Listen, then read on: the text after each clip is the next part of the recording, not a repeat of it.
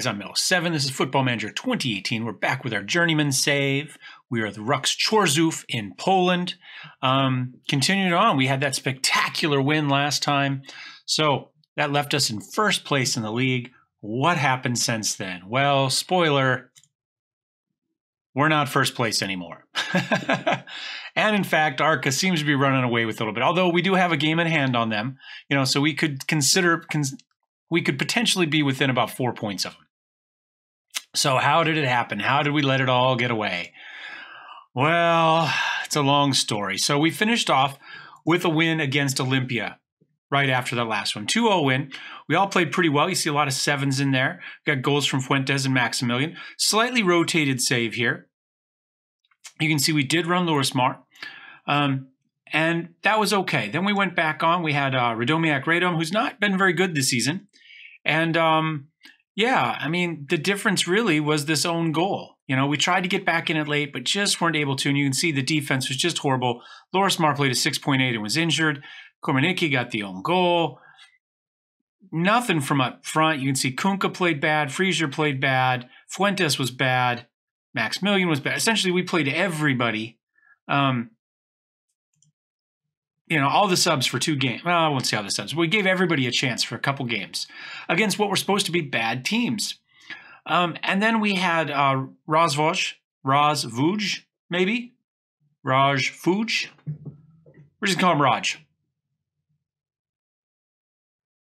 Raj Katovici. We're going to go Katovici. I think that works fine. Um, and again, just not working. We, we were back to Kornicki and Starzinski. We were you know, uh, we had Barilko in on this one. We had Laboko back in this one. You know, this was this was the all star lineup here, and we just couldn't get it done. Um, they got a goal towards the end, 70th minute. You know, it was kind of a boring game, and we we lost it towards the end. We came back with a close match against. Um, oh my gosh, this is going to kill me. Podbeskidzie, Bielsko, Biala. Um, 3 2. We scored a goal, they scored a goal, we scored a goal, they scored a goal, we scored a goal. And by we, I mean Oscar Frazier scored the goals. He had a hat trick. He was great. 9.5, you can see. Again, back to our regular lineup. Um, wasn't great, but Kornichi played much better, 8.3. Laboko played a 6.8. Okay, maybe. Now, we still um, had Lorismar in initially. Um, th- well, no, I guess we must have subbed him. We must have subbed him, but we still were running just we were running Frazier and, and Maximilian still up there. Um, no, I take that back. We we started with Lorimar in here, and we subbed Barilko in. We took Lorimar off, put Straczynski in, and brought Barilko in. Um, and for for Maximilian in an attempt to keep this one going. Um, and we're unable to do so. And we did something very similar here. Um, yeah, we did the same thing here. Um, we we tried to give Lorimar a chance. We tried to give Maximilian a chance, and it just didn't work. And we ended up subbing him out, um, trying to get something going. The only noteworthy thing here was um, we got Laboko um, from Vidzuluds. Um, this was his team. So he went home um, to the team we he left and got a goal against them. Um, away, we got a draw. I'll take it. It's not spectacular. Um, so we are going to come back here for a home game against Warta Poznan. And I decided to come back against them because I had picked out their logo as being one I thought was very classic. I really like it, and I still really do. They're in fifth place. It's a meaningful game. We're at home we do have a little bit more kind of drama in the background. Um, we were told that a rich, um, you know, Scrooge McDuck type um, was going to buy the team and dump millions into the team. And then we were told that a consortium led by an ex player was going to buy the team and dump lots of money into the team. Well, we've got a little bit more information on that just before this one. We see that this consortium is now targeting Ruch Chorzów for takeover. I don't know if this is the same um, if all of this is the same group, because you can see here it says the Bucharest based consortium led by business tycoon um, Liviu Guli is reported to have stated yada, yada, yada. Um, so it says that there's a business tycoon involved in this consortium. So everything is either said tycoon or consortium. I don't know if these are all the same group, if it's a different group. It's a $475,000 takeover bid, and they're going to put up to 120,000. Now, I don't think that's going to mean a whole hell of a lot when they've got 4.8 million in debt. Ooh, 100,000. You still owe 4.7 million in debt. So, how it affects us though is that until this ends, there's a consortium or consortium, there's a moratorium on transfers or embargo, or whatever words you want to take.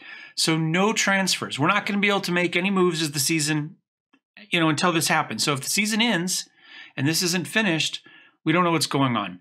So I already more or less planned on leaving Ruch Chorzów at the end of this season.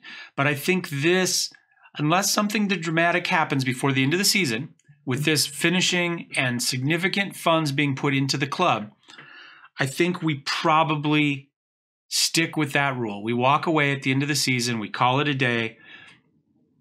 Assuming things stay as they are, this would be the third team in a row that in our second season we took to promotion with a second place finish in the league. We're consistent, if nothing else, as far as that goes. I think we can be extremely pleased with the, draw, the job that we did at Ruch Chorzów, considering the team that we took over. Um, the team that we had, um, like I say, could, switching the work rate and stuff around. Now, we saw that there were still some issues, right? We took a hit on both technicals and probably physicals as well to improve the mentals, or at least two specific mentals, our determination and our work rate. Um, and it wasn't until the mid-season um, here when we picked up Barilko that we really started to see this paying off. That we that we kind of started to fill in some of those technical gaps, and we were able to kind of with him unlock the brilliance of Freezer, who we've seen bits and pieces of, um, but we hadn't really seen a lot more out of. Um, but I think really you can see here he's third in the in the league in goals, only two goals back off of Can- Conrad Novak, who who is spectacular. Um, you can see an average rating. Frizo and Myler are both in the top three. Milo's also up there for players of the match with five. I think we've done a good job. So no matter what happens, even if we don't get promoted, Mm, if we don't get promoted, it's a much harder decision. Let's table that. If we get promoted, we're done, unless something crazy happens and a bunch of money gets dumped into it. If we don't get promoted, it depends on what happens. It really does. I could stay to try to get them promoted. I could easily say that this is my favorite squad that I have coached so far in Football Manager 2018 right now. Um, this year's this second half squad right now, even though it's been a little up and down, um, I do really like the squad a lot. I could see us staying, but for now, we'll we'll table the rest of that conversation for now. Lorimar did get injured, so that does clear things up a little bit for us. Uh, I'm going to put Kozkan in since he's not a foreigner. Um, I did move um, Platek down to the under to the reserves, I believe see if we can get him some play time. He's not getting it with us. Um, he's just not very good. Um, I also put Kunka back down here. He hasn't been getting a lot of play time. It says average rating is 7.3. I don't know what these games are. we haven't seen that much. He's not getting a lot of play time for us. So we moved him down. We'll see how it goes. Um, but that means that for the moment, we have a fairly small team, which I, I prefer to be honest. Um, I kind of like 12 subs, so at least when, you know, we can put enough players in there. But for now, I think this is okay. We've got center, left, right in the back. We've got defensive, attacking mid. We've got striker. We've got left.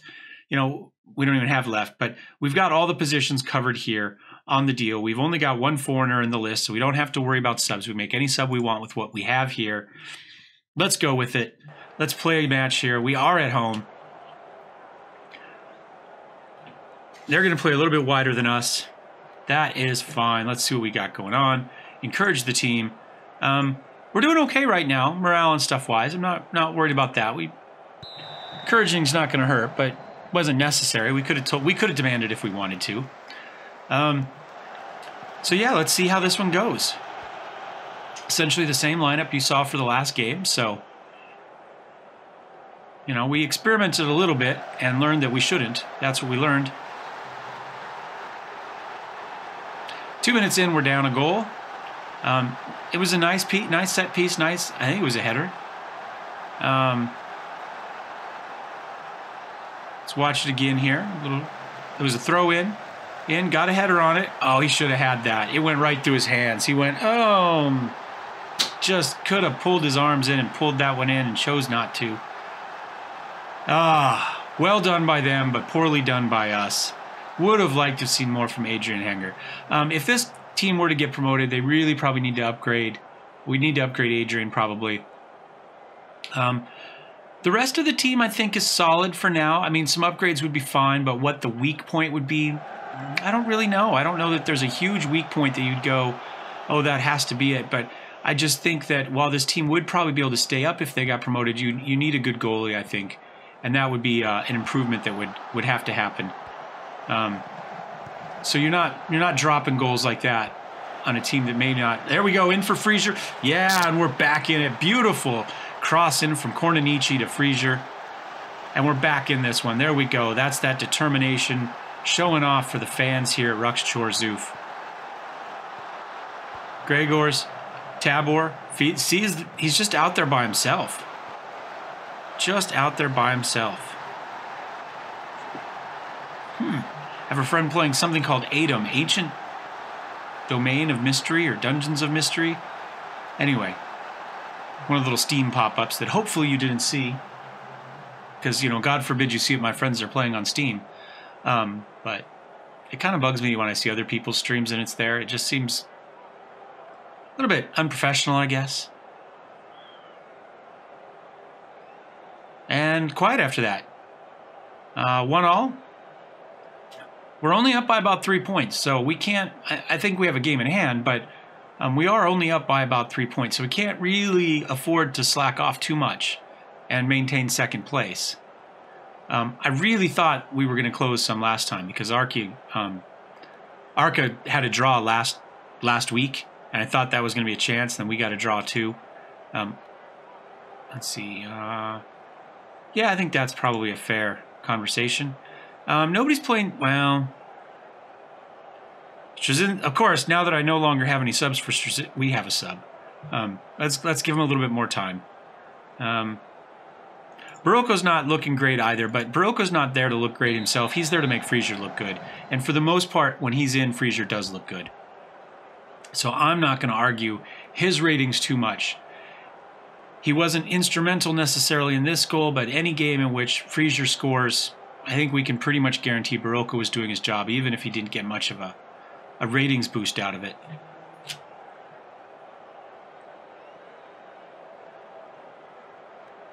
Got a little knock there picked up for Chudna. All right, let's see. We need to play some defense here. He's offside, back on sides there. We char- Oh, there we go. Kormanichi charges up. Freezer had the run at it, but he decides to just give up and let Solovej get it.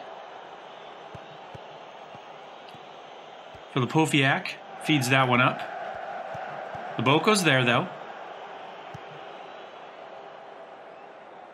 Barocco sits on it, does a good target man job, holds it up. Everybody gets in position. Then he kind of charges forward, and, and I don't know what we were doing with that. That was a pretty poor um, pass in. There was nobody there yet. Barocco was going to be there in a, you know, five seconds or so, but he wasn't there yet. Milo out to Kornanichi. Okay, Tabor into Gregors. Gregors sits on it for a second, finds Milo. Milo going to go outside. No, he goes into Freezer, back into Gregors.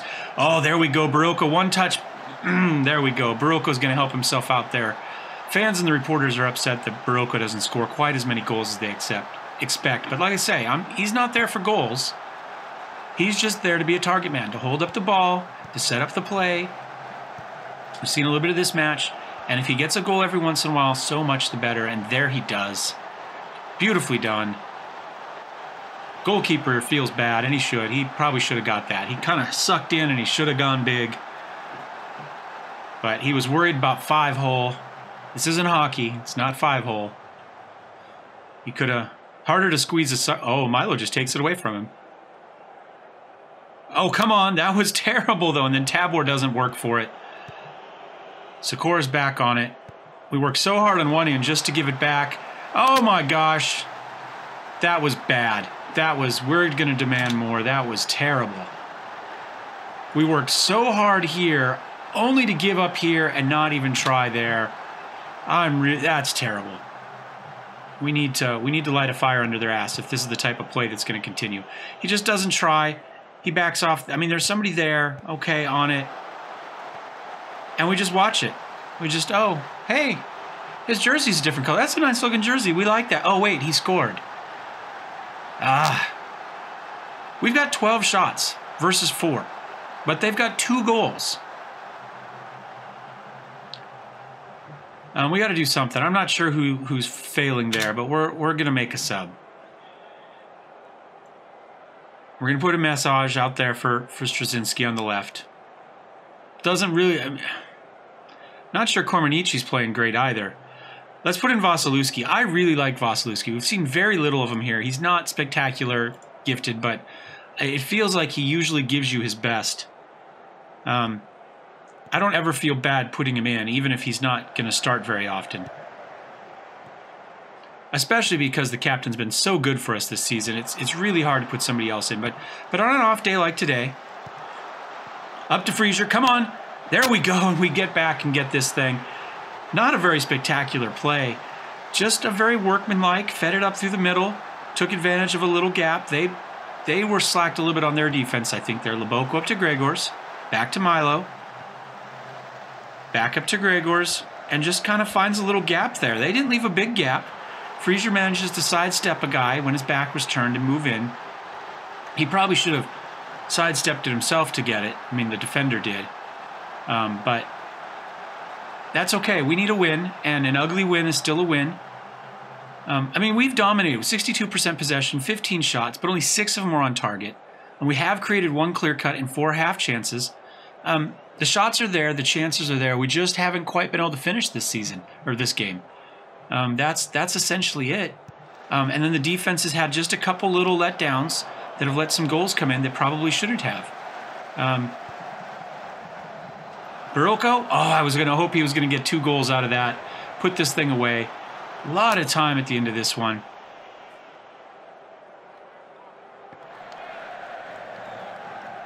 Let's see. Come on. Malkowski, get that field. Oh, that was kind of a hard back pass. Um, oh, that was a mistake, though. Barilko's got it on the in-game ends. He might have been able to catch a charging freezer there to get another goal. There was a couple seconds left. So we got the win. Um, we're now six points up. Everybody's played 29. Um, six points up over third place. Probably means we're going to be okay. Um, but we're still four points back of Arka. So most likely we're going to probably sit where we sit. Um,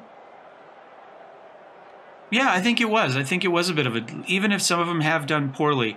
Um, Wasilewski, that's not on you. You came in and played well. Barilko, I don't know. That was, that backfired, but I think was a, an accurate reflection of the game. Um, vintage display. Uh, we're going to let the assistant do that one. Fraser shines. Two more goals. Um, does that put him at the top of the league there for goals? Let's um, let's take a quick look puts him top of the league, at least tied with Conrad Novak. Um, also, top of the league for average rating. So, not too shabby. I think we can live with that. I think probably we're going to just kind of chew on through here to the end of the season. Maybe we'll come back for Bytovia, Bytov, um, Bytuv, excuse me. Um, we've seen a lot of them over the, at least it feels like we've seen a lot of them throughout the, the, the, the series. Um, but let's finish with them. Last game of the season. And, uh, see what's going on with the takeover. Are we still going to be in second place? All that good stuff. Um, hope you enjoyed this one, guys. Thumbs up if you did, thumbs down if you didn't. Don't forget to subscribe if you'd like to see more. And on that burp, we'll see you next time. Cheers.